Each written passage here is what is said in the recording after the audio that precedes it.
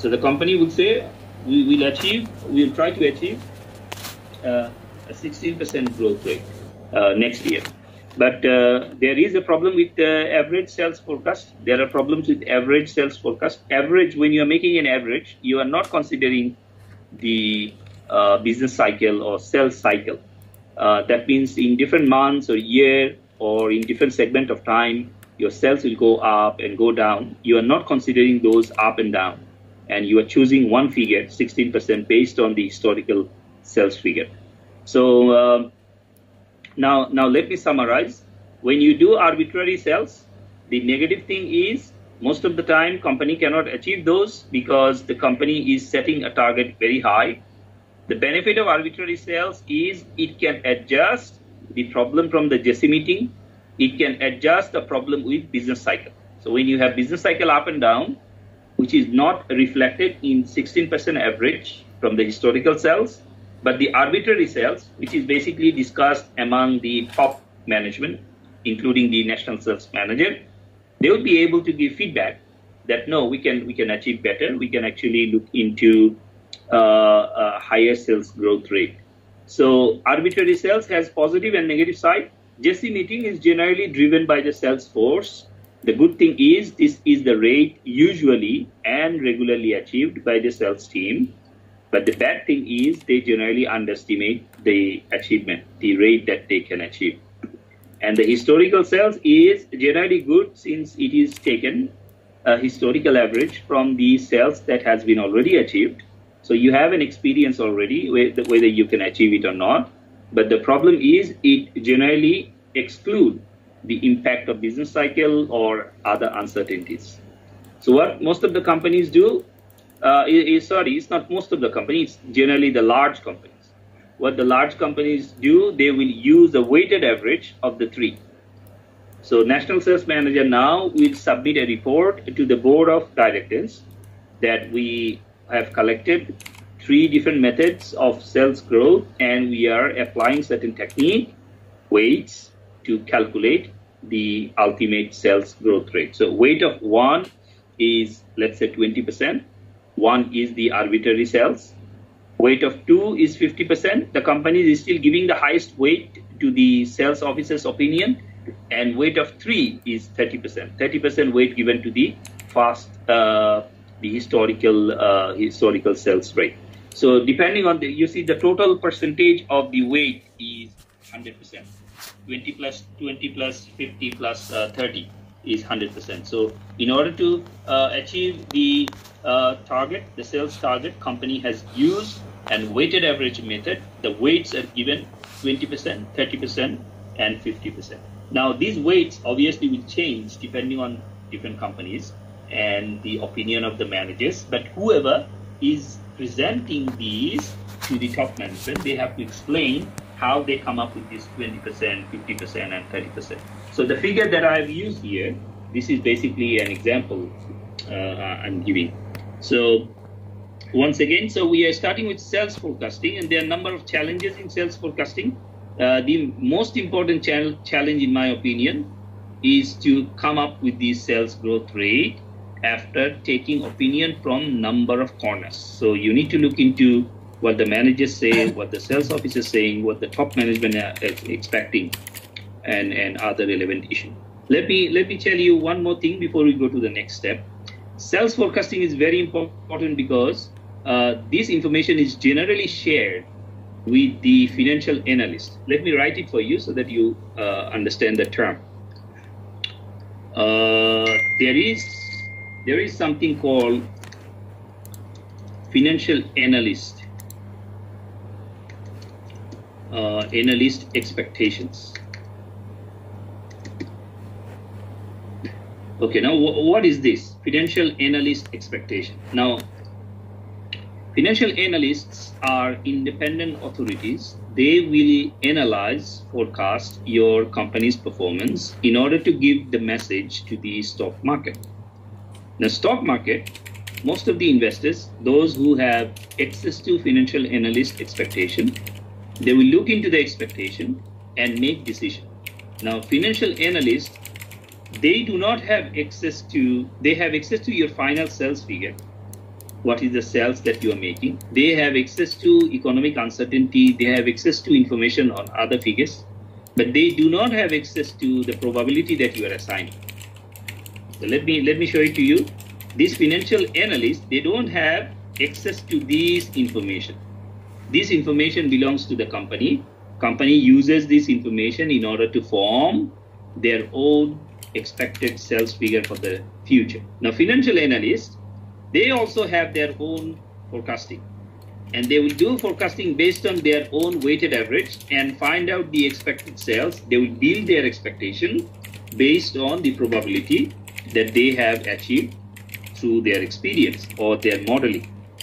Now, the point that I want to receive, if your sales average, let's say your sales growth is greater than the financial analyst expectation, okay? Now if this is higher than let's say you want to achieve 20% but the financial analyst is expecting that it will be um, maybe up to 10% this company cannot achieve more than 10% growth rate now if the financial analyst expectation is lower than your average and if the investors see that in the past you actually could not achieve what the financial analyst expected then your stock price will fall. Let me repeat. If the financial analyst expectation is smaller than yours, and if the investors see that in the past you actually did not achieve the average sales growth that you have taken, then your stock price will fall because this is the negative information that the company cannot correctly forecast their sales. On the other hand, if the financial expectation, the financial analyst expectation is higher than the company's, if the financial analyst expectation is higher than what the company is achieving, that may increase your stock price for short period of time. But in the long run, again, the investors will think that this company could achieve much higher, but they have wrong management. So this basically indicate when the financial analyst expectation is larger than the company's average, this indicates poor management quality. Poor management quality, meaning that you could not expect or estimate your financial figure, sales figure properly. So you need to be very careful when you are doing this weighted average or considering sales. You know, this, this is a very important information. That's why what uh, you, you can look into the uh, activities of Apple, Microsoft, you know, when they introduce a new product, how their expectation is changing, what is the expectation of the financial uh, analyst. Uh, you, you, can look into them and see, you, you'll be surprised to see that how the stock price changes when a company offers a new product. Uh, let, let me give you an example. I have, I have recently seen that the uh, Apple's uh, product price is suddenly increasing because there is a rumor in the market that Apple would have uh, three different additional features with their camera in iPhone that is coming up.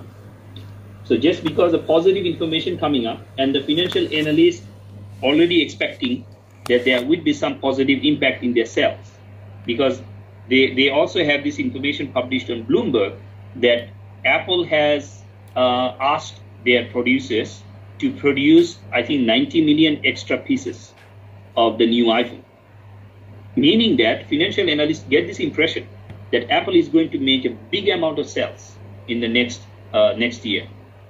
Therefore, financial analysts adjusted their expectation that the sales is going to be superb, and based on which Apple's stock price is going up. So this is an example of how expectation may influence your stock price. You need to be very careful when you do uh, sales forecasting because if it is significantly different from the market expectation, you may lose value. You may lose stock price. Okay, we have uh, continued lecture for over uh, almost one hour. So we want to take a break if you all agree, but uh, uh possibly let me uh, let me finish the theory part. Uh, give me 10 minutes. After 10 minutes, we'll take a big break. Okay, let's go to the step two. Forecasting income statement. Now, as you know, that income statement is generally reporting three figures income, expenses, and net income and net loss. So, you are supposed to forecast all the income item or relevant income item. You're supposed to forecast all the income uh, expenses item and find out what is the net estimated profit or loss. And when you are doing the forecasting, we generally call it creating a pro forma uh, pro forma basically means estimation or forecasting. So pro forma income statement. This is a pro forma income statement. So often in, in, in, in big companies' financial statement, you see the real income statement and pro forma financial statement. Now, pro forma also is a word they use when the income statement is not audited yet. So meaning that the company has uh, some estimated figure inside.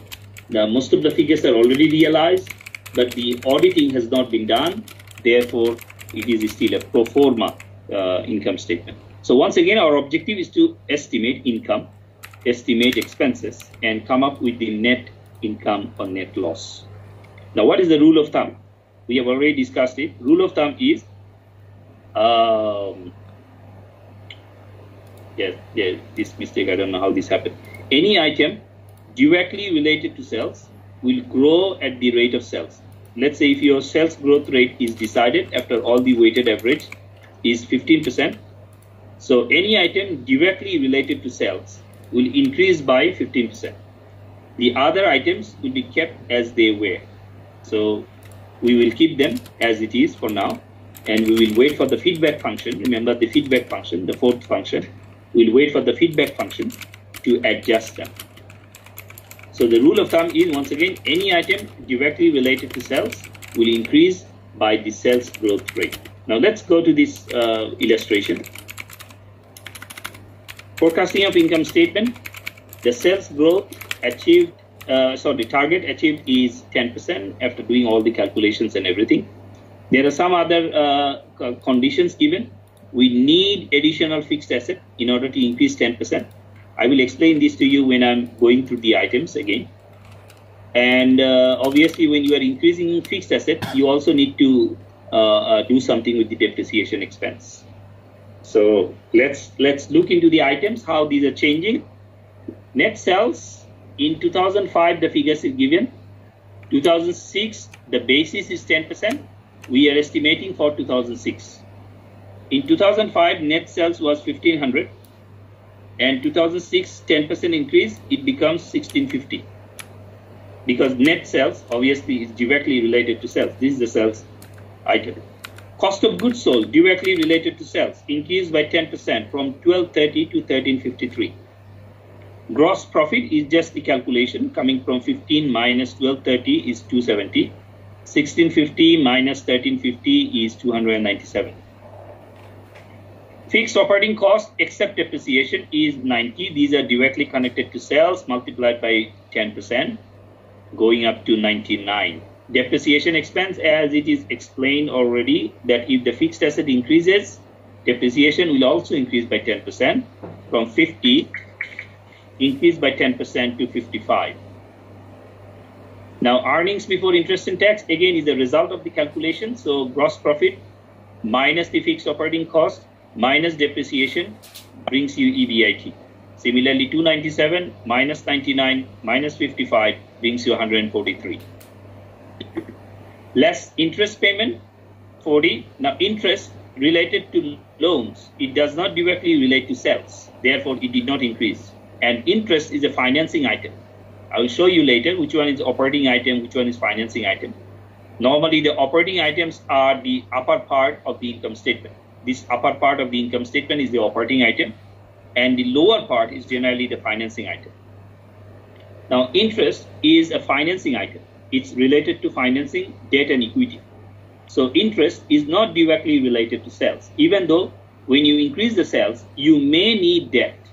If you need debt, then you will increase the interest. Otherwise, you will be it will be same. So we kept it as 40 because we need to still go through the feedback function to see whether we need extra load or not. Sorry. And then EBT calculated as it is 130 minus 40, 143 minus 40.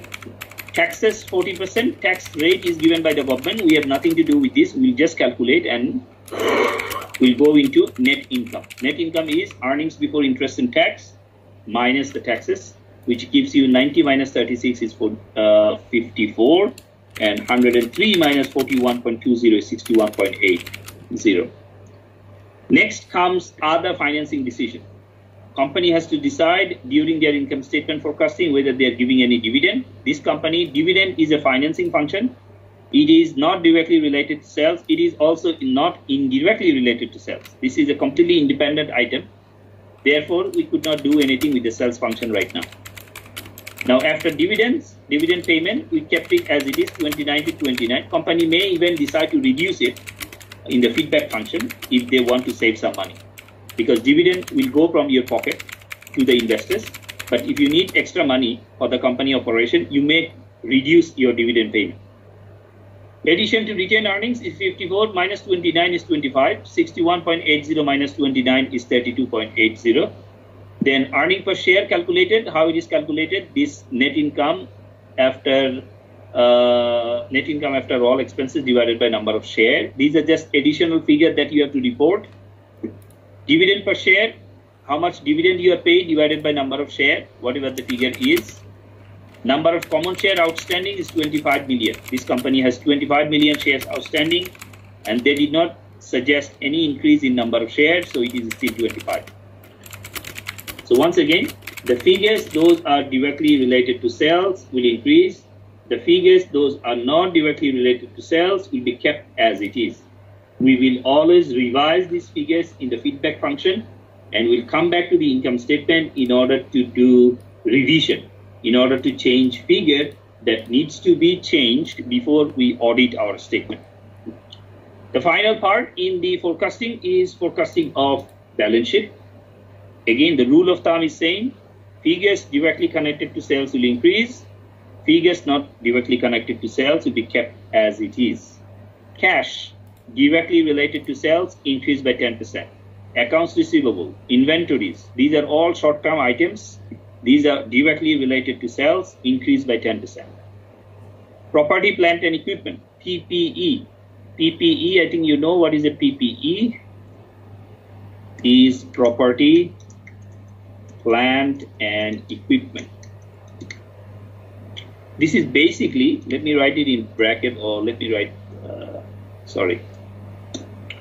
Uh, this is basically fixed asset. Now, net property, plant and equipment, we have written net here, as you can see. Net means after deducting the depreciation. So, net PPE or net fixed asset means PPE minus depreciation.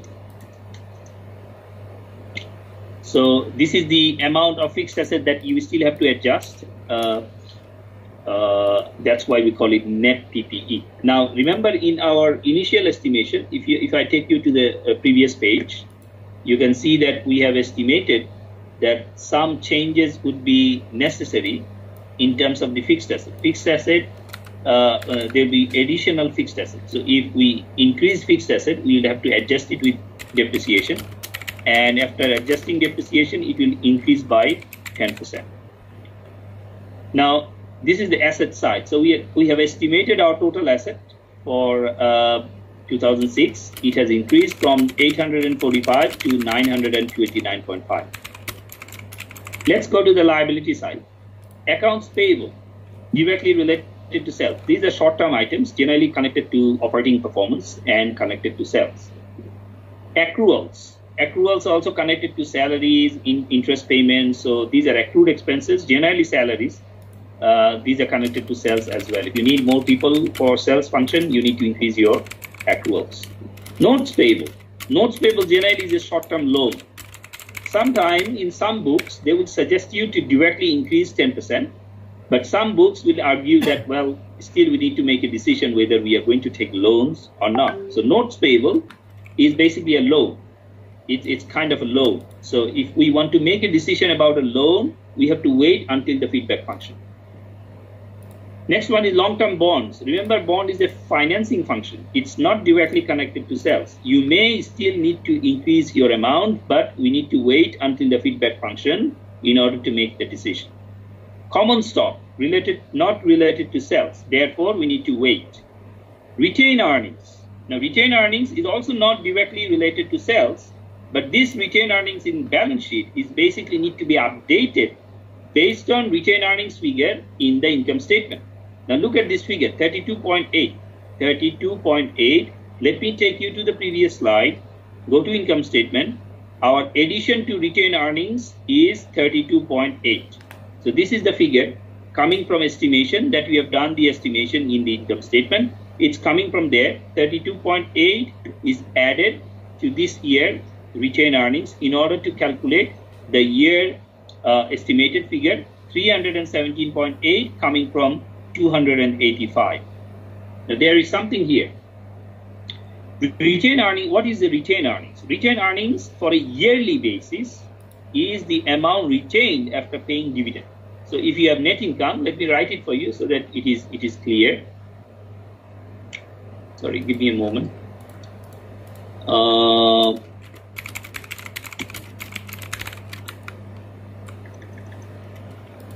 what is retained earnings? Retained earnings is basically it can be calculated for yearly basis, can be calculated for the altogether for the company's performance. Generally, it is net income minus dividend paid. Now, look at these two figures. Quite interesting. If you want to pay dividend, if you want to pay dividend, your retained earnings will be much lesser. You will have much less cash. If you are taking an additional investment, you want to increase your sales by 10%, you need a lot of cash, but the company has decided to pay a dividend. So if you pay out dividend, you may not have sufficient cash for your uh, new investment. So in that case, you may have to go for loan, you may have to go for stock market in order to increase your liability. So some companies, they don't like to pay dividend. Large companies, they don't like to pay dividend. They are growth oriented company and they will save their retained earnings they will maximize their retained earnings in order to invest in new project. So a decision must be made here. Why I'm discussing this with you, a decision must be made whether this 32.8 million can be used by the company. When we are putting this here, when we are listing this 32.8 million here, we are deciding that the company will use it instantly. But the company has to make a decision. They have to talk to the shareholders.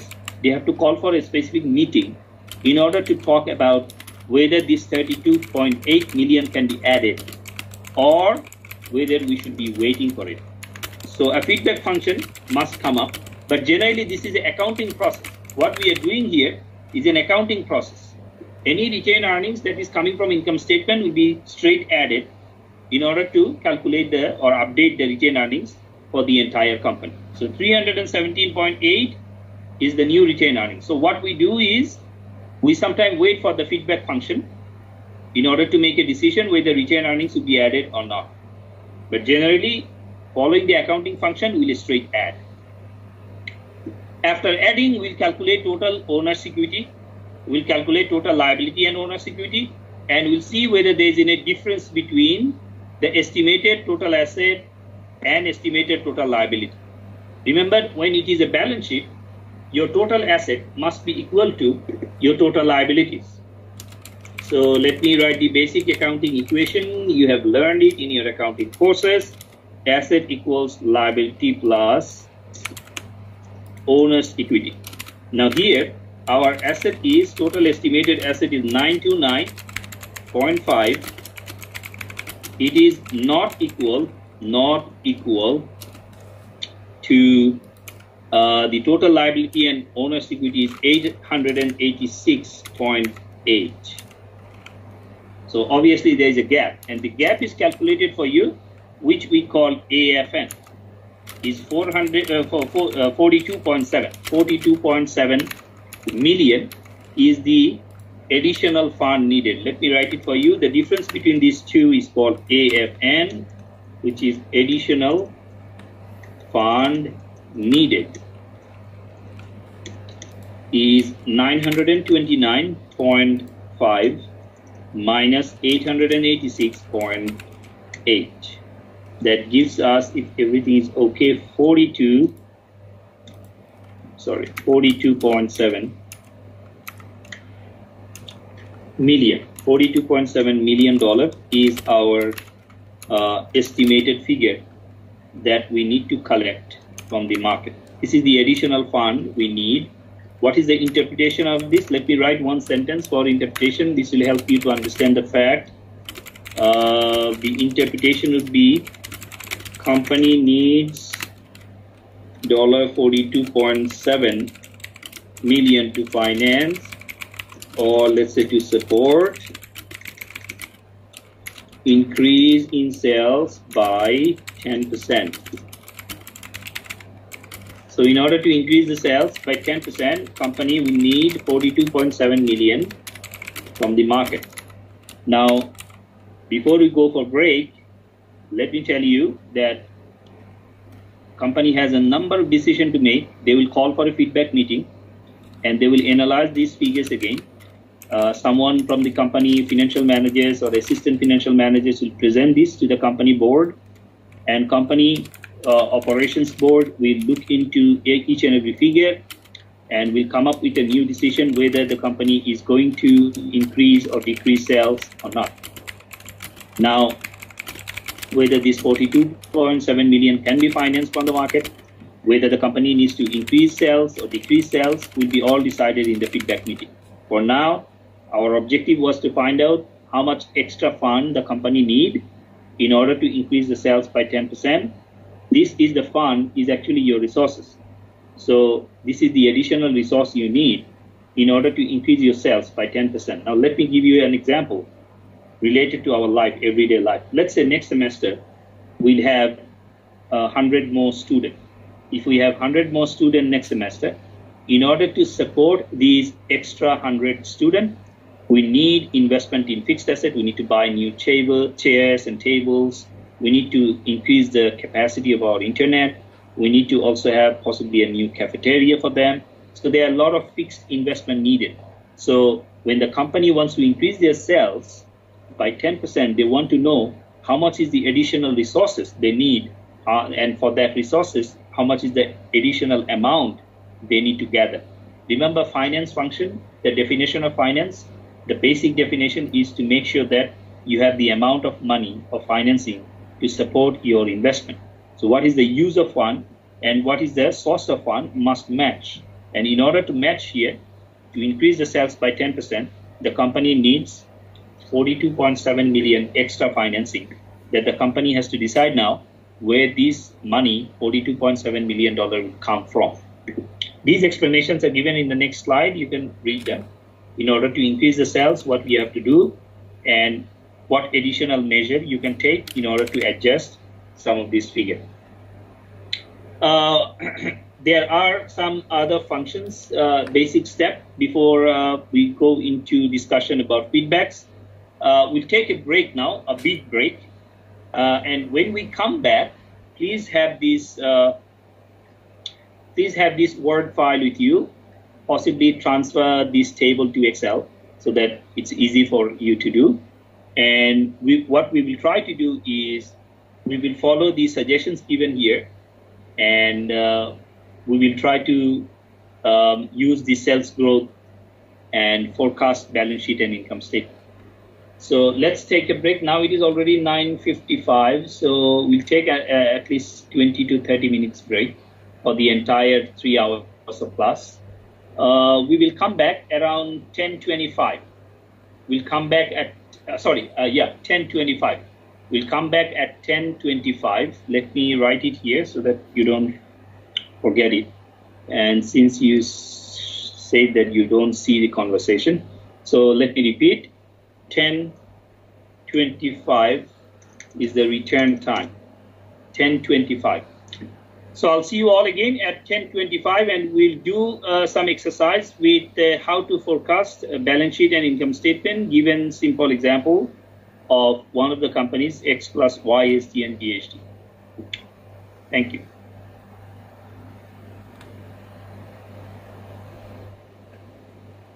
uh, I will keep the session on because uh, we are recording, so um, so that it does not interrupt our recording.